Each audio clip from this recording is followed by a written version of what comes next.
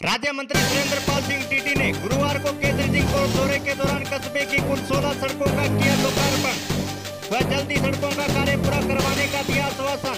पालिका से कनिष्ठ अभियंता के साथ साथ भाजपा कार्यकर्ताओं का काफिला रहा मौजूद।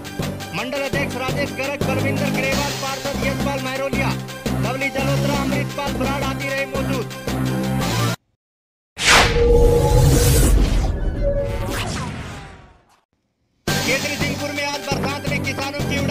दोपहर करीब तीन बजे बरसात के साथ ओलावृष्टि आसपास ग्रामीण क्षेत्र में मोहल्ला मलकाना धनूर अरायण आदि में भी बरसात के साथ ओलावृष्टि की खबर आ रही है।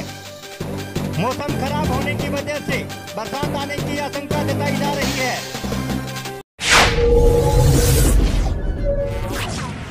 कस्बे के वार्ड नंबर पाँच के जोड़ के और पानी की निकासी के लिए हरिराम बाबा मंदिर गली में बनाए जा रहे नाले के निर्माण के दौरान पानी नाले की नींव में घुसा। आसपास के मकानों की दीवारें गिरी, पालिका के प्रति लोगों में रोष व्यापक अगर और बरसात हुई तो मकानों की ढहने की आशंका भी जताई जा रही है। केंद्र सरकार की मेडिसिन की ऑनलाइन बिक्री के निर्णय का विरोध कर मेडिकल एसोसिएशन के विरोध में स्वरूप केंद्र सिंहपुर में मेडिकल स्टोर बंद रखकर विरोध जताया गया। वही इस निर्णय को वापस लेने की मांग करते प्रधानमंत्री व रसायन मंत्री के नाम का ज्ञापन। उप तहसील कार्यालय में सौंपा गया।